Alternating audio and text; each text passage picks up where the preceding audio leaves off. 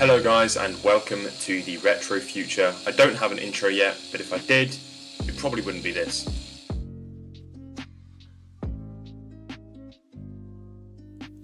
If you've been on my channel for a few weeks, you will know that I have done videos on both of these Walkmans in front of you. The one on the right hand side is the Sony TPS L2. It was the first Walkman that was made. However, this is the second revision. The first one didn't actually say Walkman on it. And then the one on the left hand side is the Walkman WM3. This one is a slightly newer revision of the TPS L2 and allows you to play metal tapes. What was before this, you might wonder? Well, in the late 80s, Akio Morita made an autobiography called Made in Japan, and this is basically about Sony, how it came about, and the kind of history of him and the Walkman. On page 79, he starts to talk about how the Walkman came about. Up here, he starts to talk about in, in the late kind of 70s, all you really had was just these ginormous big kind of cassette players and cassette recorders, really, that just people would lug around on their shoulders, and it just was really heavy and pretty unpractical and then uh, he started talking about down here they had the Pressman, and that's what I'm going to show you in today's video. They stripped out the recording circuit and the speaker and replaced them with a stereo amplifier. I outlined the other details I wanted, in, which included lightweight headphones that turned out to be one of the most difficult parts of the Walkman project. And if you have watched Guardians of the Galaxy, you'll know those kind of those uh, really iconic orange headphones. That was also one of the first things uh, that came out around this time as well. He then goes on to talk about how him and his friend listened to it in the car and they wanted to add a, uh, a hotline button so that they could talk to each other. And uh, it's a really, really interesting book. I definitely recommend checking it out. So this right here is the Sony TCM 600B. Now this really was the first of its kind uh, well, actually, I'll tell you a little bit of a lie. Before this was the TCM 100, but it's basically identical. I think it's just had minor improvements. I've also got a TCM 100 coming down, um, so I'm going to be doing a Let's Refurb on that. This one was pretty much okay. It just needed replacement belts, which is pretty much uh, what most of these things need. Before we have a little look at the uh, kind of side by side between what they uh, got rid of and what they improved on, let's just have a little look at how this thing works. So on the top of the device, you have a ginormous big red record button. There's a there's a pause button here. There's a kind of fast forward-ish button here, but you can kind of still listen to the audio as opposed to the fast forward here, uh, where it just kind of cuts it out and just speeds up loads. You have a microphone. There's a stop and eject, play, rewind, fast forward. There's a volume for the mono speaker and mono output on the headphones. This thing does not output in stereo. If you're looking for a Walkman, this is not the one to get. You've got DC 3 volt in, speaker on the back, batteries in the bottom here, and that's pretty much your lot. You also have a little um, lanyard loop, which mine is upside down at the moment, I need to replace that. And you also have a tape counter, which is something that you saw quite a lot on um, old recorders. I guess they kind of got rid of them on the later revisions, but uh, it's just so you can see how long you've been recording for. Incidentally, this is the tape recorder from the 13 Reasons Why Netflix series. Uh, it's pretty cool. I don't think it's really worth a video, but it's really nice in my collection and I like it a lot. So in here I have Awesome Mix Volume 2. Can't play a lot of it because I'll get copyright claimed. Oh, of course I managed to pick it at the end of a song. Um, I'll also demonstrate the recording um, function in this a little bit later on.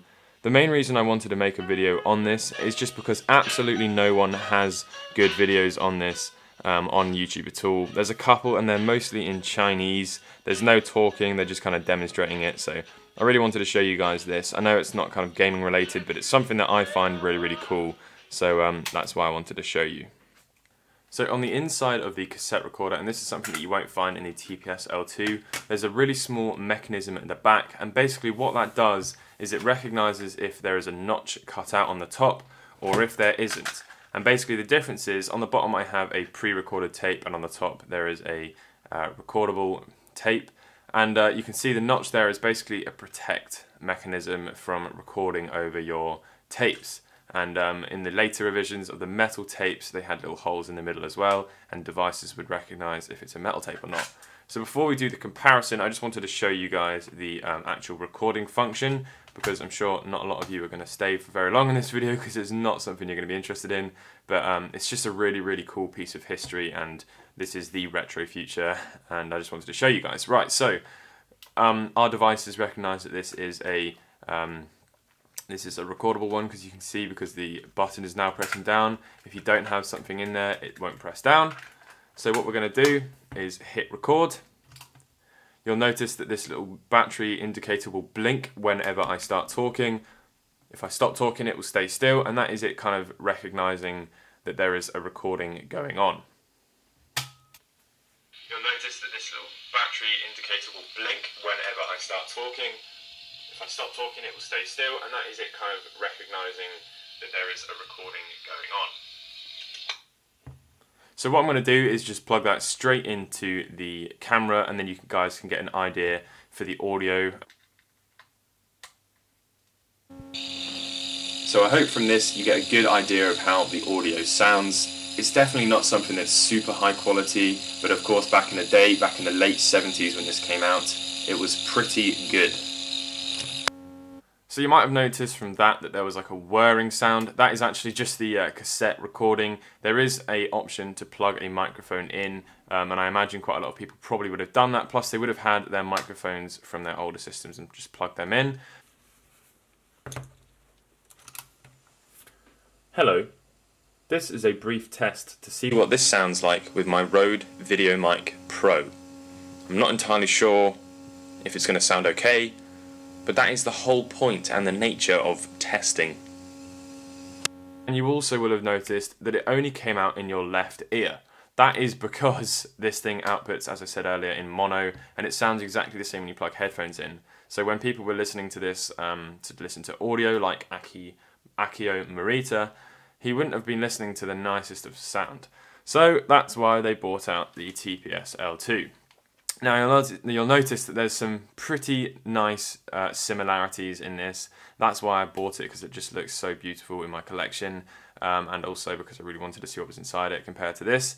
And basically, it's exactly the same, just a ginormous speaker on the back, and then a load of extra kind of mechanical things for the record as well.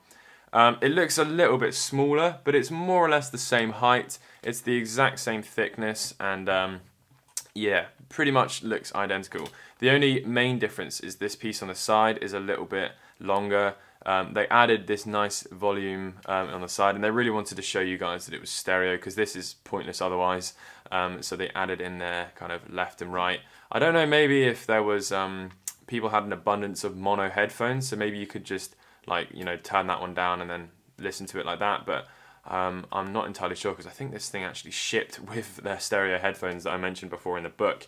The window's the same, the arrow's the same. The Walkman didn't exist, and this wasn't a Walkman, this was a cassette recorder. They sacked off the, uh, well, they, they hadn't yet put the Sony logo up here. This is uh, indented and this is kind of protruded and extruded, shall I say. On the top, there's the hotline button that I was talking about. This thing is basically just like a momentary kind of uh, switch you hold it down, it activates the microphone on the side, and uh, then you can speak to people. This microphone, incidentally, is not the same as this. This one sounds far, far better. And then on the WM3, which we're not really going to be looking at too much in this video, it was more for just kind of show the, pur the purpose of the start.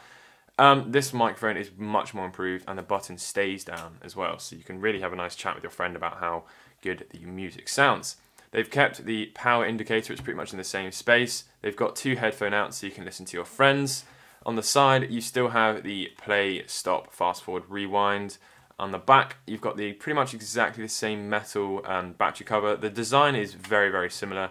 On the side, they've gotten rid of the lanyard because um, it came in a nice leather carrying case, and they've got a high and low tone. And that's more or less it. Inside, it's pretty much the, the same. You've still got the little um, silver sticker. The mechanism slightly improved on this one. But that is pretty much it. I hope you guys have found this relatively interesting. I don't know if this, this is going to do very well, but I just thought for the sake of history, I would definitely, uh, you know, go on here and show you guys how cool these things really are.